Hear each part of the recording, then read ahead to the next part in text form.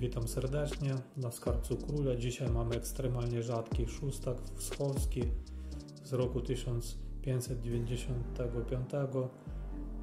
Moneta ta należy do ekstremalnie rzadkich, stopień rzadkości R7 przez Kopickiego opisana pod numerem 885 Tyszkiewicz 80 marek koronnych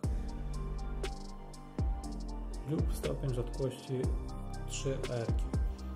Do słowa muszę powiedzieć, że to czwarty znany egzemplarz i moim zdaniem jeden z najlepszych znanych egzemplarzy w Polsce i na świecie. Na wersji widzimy po, po pierwsze króla w prawo i napis łotoku Sigis, trzy arabskie DG, Rex, Pol, MD, Lit.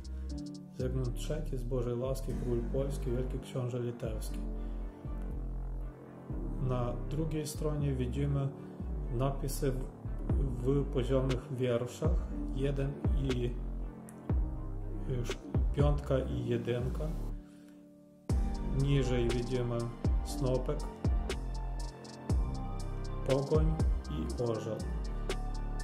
Jeszcze niżej napis gros, arge, seks, dy, regi, bez S, Poloniae.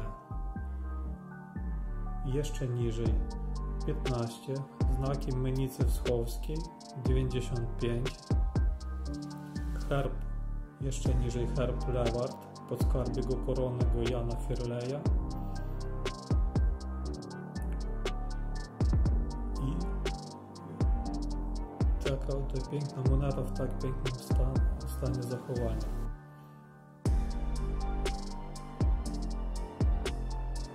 W lepszym stanie moim zdaniem chyba w sprzedażach takiej monety nigdy nie było.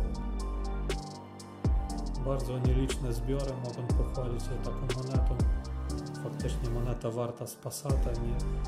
i przeciętny Kowalski chyba wybierze sobie Passata, ale dobry numizmat wybierze sobie inwestycję w przyszłość, kupi sobie taką monetę i będzie cieszył swoje oko i w razie potrzeby zawsze może sprzedać taką monetę z zyskiem. Im więcej trzyma się takie monety w zbiorach, tym większa cena tych monet w przyszłości będzie.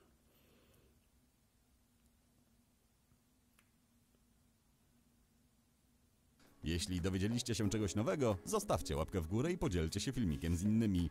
Ale chwilka, nie zmieniajcie jeszcze kanału.